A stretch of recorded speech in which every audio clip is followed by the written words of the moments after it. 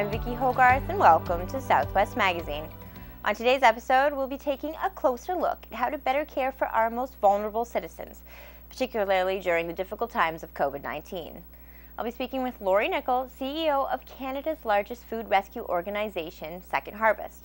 Second Harvest has rescued surplus food from generous businesses across Canada for over 30 years, diverting it from landfills to bring it to the tables of those most in need.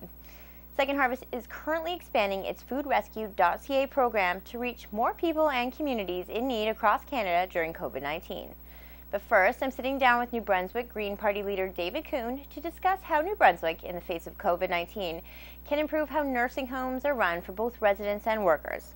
We will also be talking about food sustainability in the province and the need for a year round ferry to Campobello to link islanders to the rest of the province. Thank you for joining me today, Mr. Coon. My pleasure. Can we start off by talking about what you think wages and working conditions should be for long term caregivers, particularly in nursing homes? Yeah, sure. I mean, it's two things it's the wages and it's working conditions. So the wages, uh, you know, the, the contract, uh, last contract ran out in 2016. So it's been four years um, for nursing home workers, the caregivers in nursing homes, working without a contract. And certainly over those four years, inflation has eaten up a lot of, uh, you know, what the, of their earning power, their buying power. So um, there needs to be uh, clearly a fair wage paid to reflect that and to reflect the uh, increased workload that uh, that nursing homes have been seeing. Um, and that's before we got into COVID. Now, of course, with the pandemic, workload has gone up significantly as uh, there are no longer family members and volunteers helping to share the workload. So it is uh, all uh, on the, uh, the, caregivers in the nursing homes. Um, and they have, of course, the added stress and anxiety of, of operating on the front lines in a pandemic. Obviously, there's a shortage issue when it comes to workers as well. Do you think a pay increase would draw people back into the field or to the field? Well, uh, I've been saying for a long time that one of the keys to retaining people in the field and recruiting people into uh, care work in our nursing homes is that there is a decent uh, wage and benefits uh, so that people can see it as a real career uh, that, uh, that they could take on.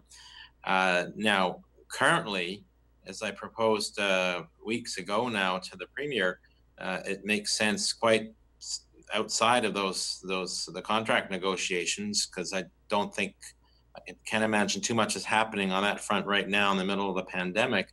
That um, it would be fair and a, a good idea to pay a, a uh, top up um, um, sort of bonus, I guess, right now to recognize the uh, extra workload uh, and the, the difficult situation uh, working in uh, a pandemic presents itself.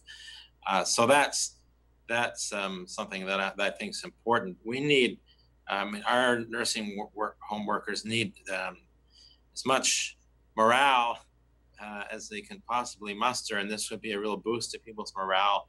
And I think it would help nursing home workers, the caregivers in our nursing homes fear, feel more valued and uh, and better respected after the the um, rancorous, uh, difficult labor negotiations that have been going on for some time. So, what exactly, for people who don't know, is the federal top off that Trudeau is proposing? Well, there's that, um, which is to bring wages up for those who don't make uh, who make less than twenty five hundred dollars a month to twenty five hundred dollars. Um, but I was um, thinking more broadly um, that the province uh, should do that uh, just as some grocery store chains have done for their workers, recognizing the particularly uh, difficult working conditions that um, caregivers and nursing homes uh, face right now. What has this pandemic taught us going forward about working conditions for, for some caregivers who have to work in two or three facilities just to pay their bills? Has this given us any insight into a different way that we should be doing things going forward? Yeah, I think that was a bit of a revelation for people to learn that um, many people working in nursing homes don't earn enough to uh, um, especially the ones who are, are not full-time permanent positions, uh, to uh, make a living and, and work multiple jobs.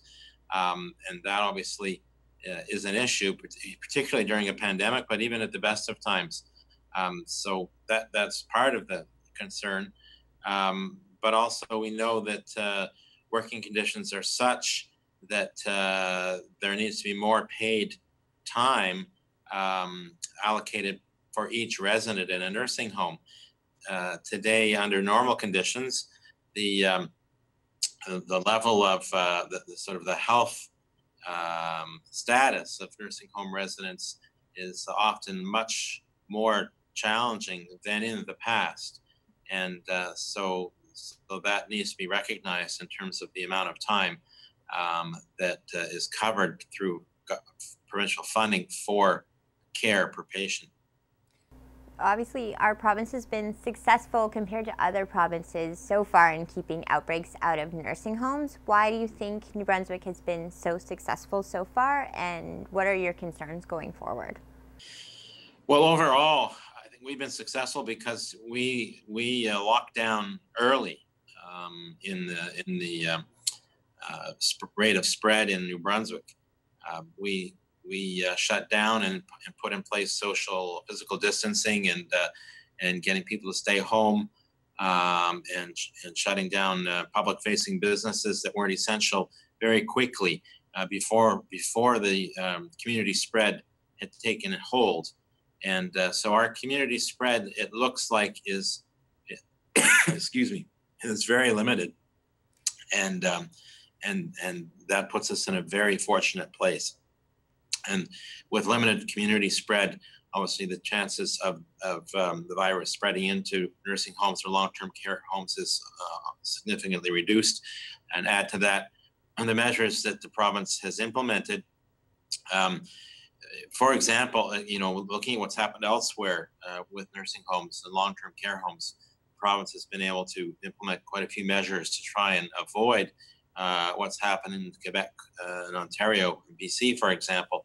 One of the things that the province has done, which I think is really good, is um, the way we've restructured uh, decision making during for this pandemic is taking down a lot of the government is taking down a lot of the silos. So with the pandemic task force of uh, three physicians, that include Dr. Russell and uh, the Deputy Minister of Health, they now are basically the umbrella decision makers over all aspects um, of the system, including nursing homes, uh, community care and homes, um, group homes, and so on, as well as hospitals and uh, extramural and, su- and such. So, so all of that is gathered under um, the pandemic task force, and so no one, none of those parts of our system are are uh, on the outside. Where before people will know that the nursing homes fell under social development, um, and there was quite a, a wall between between uh, nursing homes and uh, and the healthcare system as a result.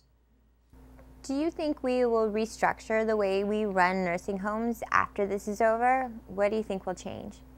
Well, that's a good question. Um, with respect to nursing homes, I'm I'm not sure um, what it means in terms of future structuring. I think generally across government, um, it, government will be very different, um, be very, uh, will be restructured. I think we've seen across government uh, the uh, the removal of silos, the tearing down of walls between departments, and the effectiveness of um, how that, the effectiveness of doing that, which is um, uh, evident in uh, how quickly decisions are getting made uh, on in so many ways on so many fronts uh, to put in place uh, so many initiatives that are are desperately needed in the in the in the face of a, a pandemic like we're uh, in the midst of now.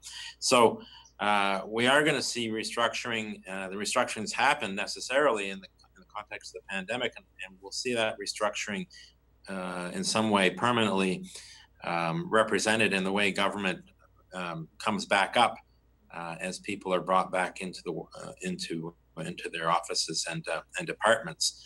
So um, how that will play out for nursing homes, um, I'm not sure yet. It's too early to say. Another issue that you are concerned with is the need for a year round ferry to Campobello. Can you tell me a little bit about the petition you just brought forth um, to legislature? Yeah, well, um, um, Dale Calder brought uh, a petition to me uh, that he had been uh, circulating on the island. And uh, when we were in the Legislative Assembly briefly on on uh, last week, uh, I because we weren't doing routine business, we were just doing working on the bills. But I asked both the Speaker and the Government House Leader if they would be open to me to presenting this petition because it was a pressing matter.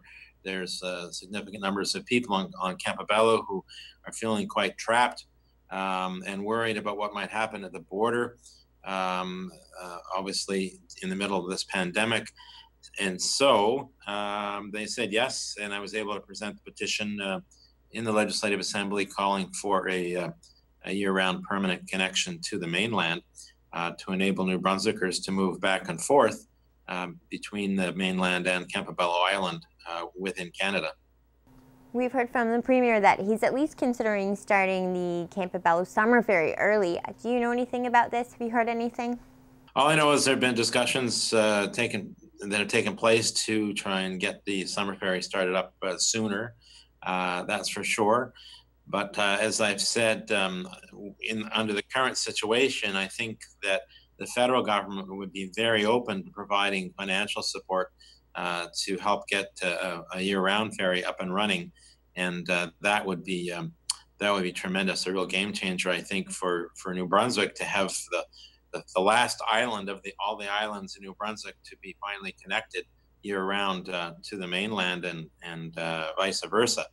Um, you know, every other island is connected in our uh, transportation system. The, our ferries are part of our transportation system, and uh, they're treated the same way as roads by the provincial government, whether you're on Deer Island or Grand Manan, uh, or in the case of Miscou Island, which has a bridge now, um, and Lamèque.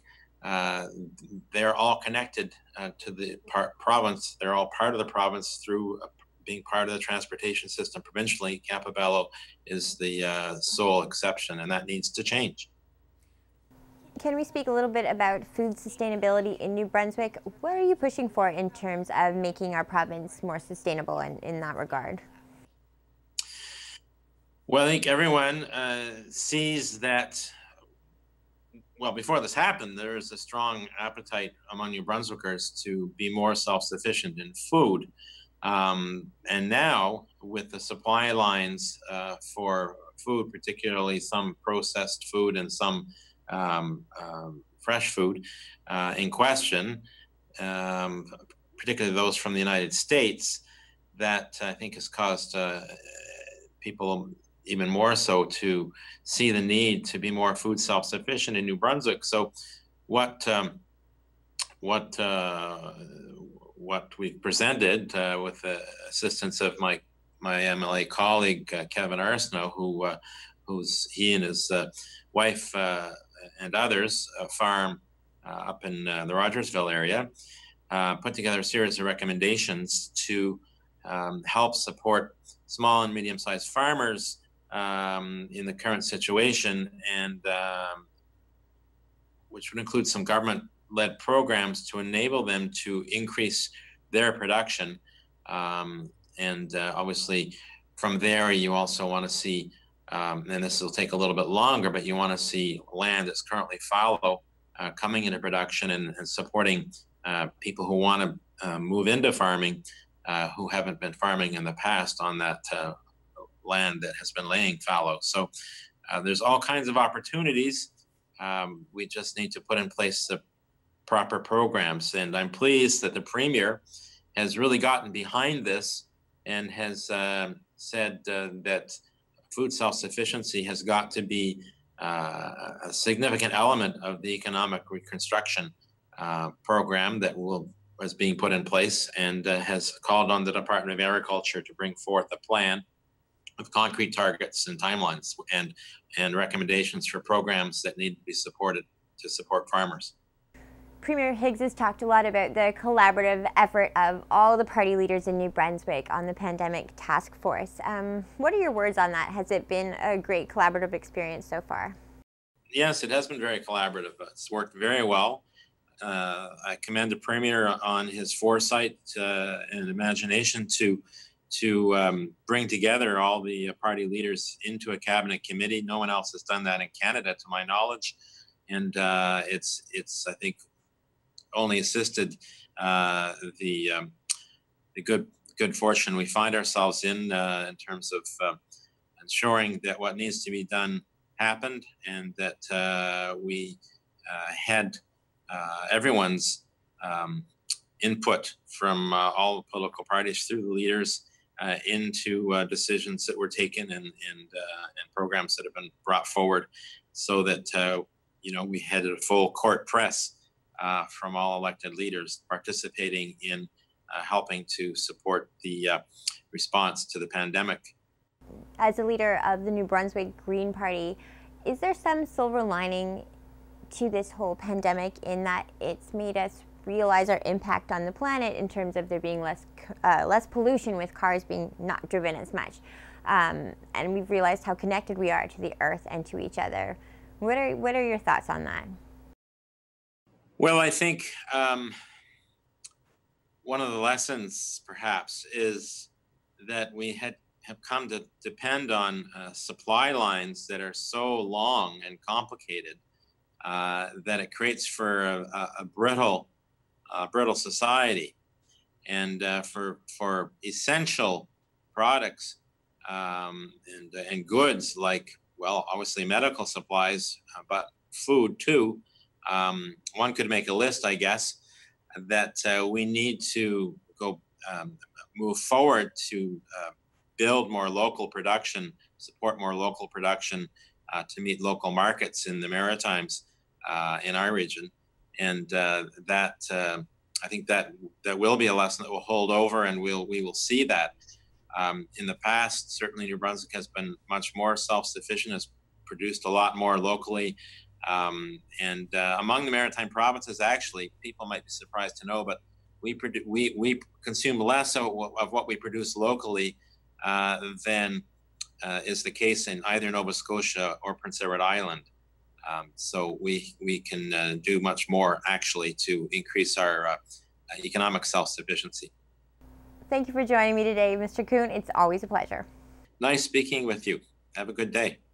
That was David Coon, leader of New Brunswick's Green Party. My next guest is Lori Nikkel, CEO of Second Harvest, the largest food rescue organization in Canada and one of the global leaders when it comes to food recovery.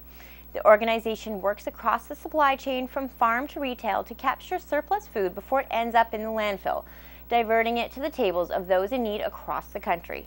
Second Harvest is currently scaling up its foodrescue.ca program, and thanks to a generous contribution from the federal government, FoodRescue.ca will be granting over $4 million in emergency funding to help ensure food makes its way as quickly as possible to Canadians who need it the most during the COVID 19 pandemic. So, I was going to get started, Lori. Um, tell me about Second Harvest. First of all, what is it as an organization? Second Harvest is Canada's largest food recovery organization. And essentially, that means we capture surplus food from across the supply chain primarily perishable food, all that great produce, dairy, and protein, before it goes into landfill. And we do that because food in landfill creates methane gas, and we're an environmental organization. And we also know that there are people that need food. And so we are also providing hunger relief. Can you tell me about the food rescue um, project that you're working on right now? Yeah, absolutely. So, foodrescue.ca uh, was created a couple years ago. Foodrescue.ca was really a conduit for local organizations to provide food to their local communities. So it's very much like a eHarmony of food. You just uh, you, you, go on it if you're a local business. Uh, but we have many national partners like Starbucks and, and Loblaws and Walmart and whatnot. Um, and you go on it and you say, "This is what I have available," and uh, a little uh, notification goes out to the community, like a certain radius, and whoever wants it gets it and they say i'll take it and then they go pick it up. Like it's really simple. So is it something that works across the country? When you say communities it, it can be taken anywhere? Any community. It is national in scope and any any community can use it because there really is no food that is too big or too small and it doesn't matter right? So like for example, a Starbucks might not have a lot of food. Maybe it's like two or three sandwiches one day. And that might not seem like a lot, but it sure is a lot to some youth that's couch surfing. So, and then there might be a farm that has a crop. And so we try to figure out on the back end how do we move that across across the country. So if it was a say a smaller mom and pop type restaurant, they could be involved as well. And then how would they get involved? They would go to foodrescue.ca and they would register like all of our businesses and all of our agencies. They'd have to comply with our health and safety regulations. Um, and then that's it. It's that simple. And then what about if you're on more the receiving side, if you wanted to access food from it, does it work in a similar way? Exactly the same way. So if you go to the website too, there's a lot of training videos that will show you exactly the steps that you need to take to uh, register. We also have a, a, a staff line. So if you're having a problem with it, then you can just call and someone will be able to help you. But it really is as simple as signing up, registering, uh, complying with our terms and conditions. So, you know, health and safety is paramount for all kind of food distribution because we don't want to make anybody sick. And so we won't. So you have to guarantee that if you're using, uh, if you're going to be supporting people with perishable food, that you understand the temperature control that's required and meet those kind of guidelines.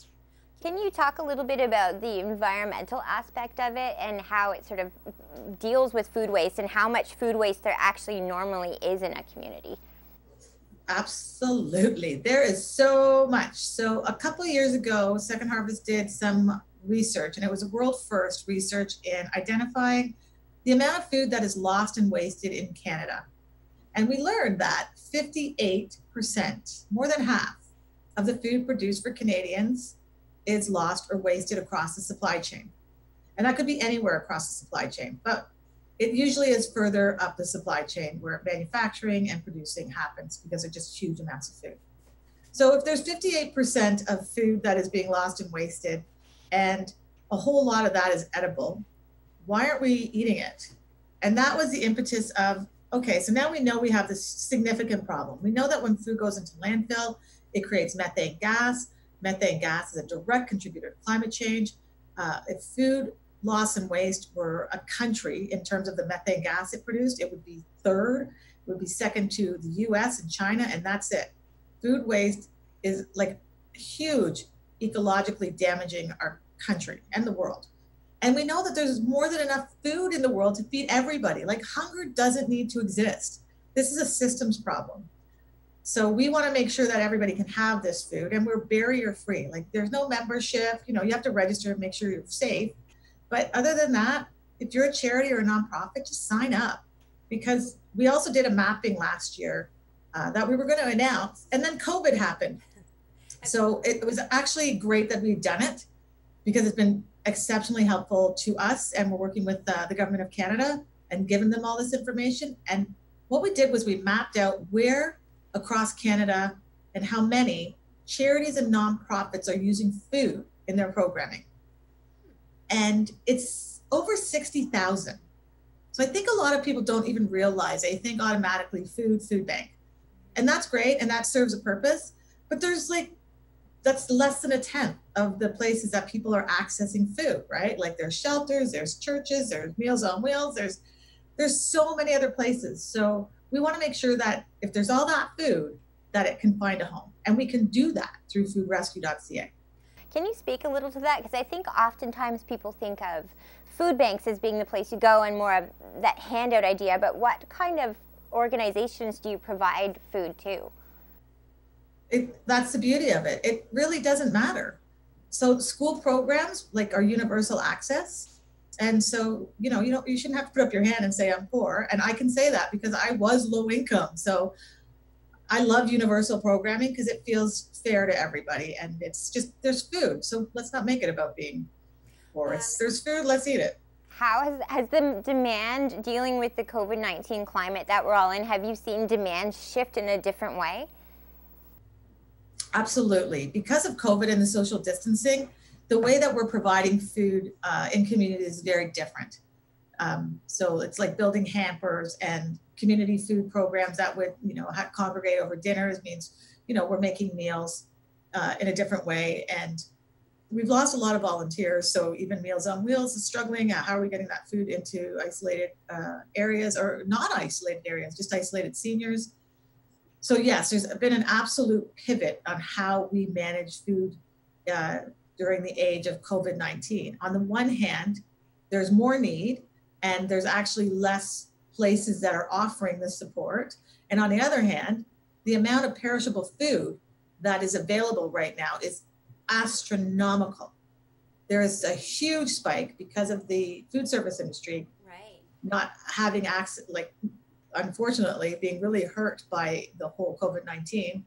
Uh, there's a huge amount of food that's that needs a home, and it's and it's food that needs to be reprocessed or repackaged because it's it's things like 2,500 pound bags of potatoes. Well, you can't give that to family. You got to figure out how to manage that, or or you know jugs and huge jugs of sour cream because it, it was intended for food service, which makes sense. But as food service transition and pivots to grocery, uh, we have to figure out how to manage that food and, and make sure it doesn't go in the landfill. Um, what would be examples of surpluses that everyone from Loblaws to Starbucks to a small restaurant might have and might donate? They probably wouldn't have surplus because they're like grocery stores are being accessed by a whole lot of people. So that actually, I think, is an area where you're going to see a lot less right now. Where you're going to see it is in processing, manufacturing, distribution, probably uh, cold storages, and producers, right? So, and also like yeah, there's storage. There's a whole lot of potatoes that need homes, and so we're finding homes for them. But but you've heard about the milk that's being dumped.